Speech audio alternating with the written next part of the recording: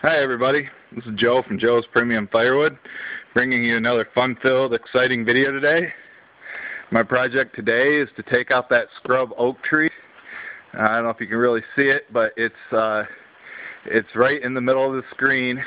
It's um, an arch tree, which means it's almost going growing at a 45 degree angle, and uh, we only want vertical trees around here.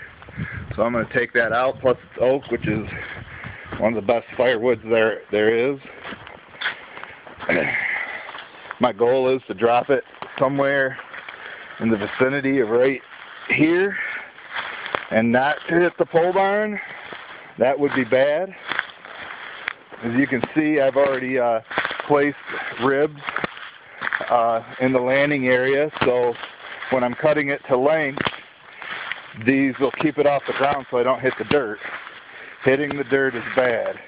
As you can see, I got them lined out there. That's my goal. There's the tree right there.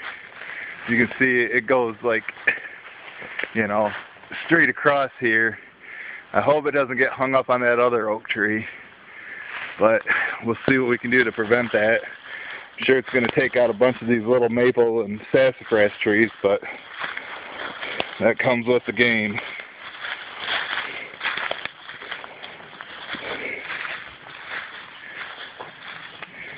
And I hope when I set the camera down it doesn't get shut off like it sometimes does. I hate filming this into the sun, but I don't want to set my camera on the other side. But hopefully this goes well.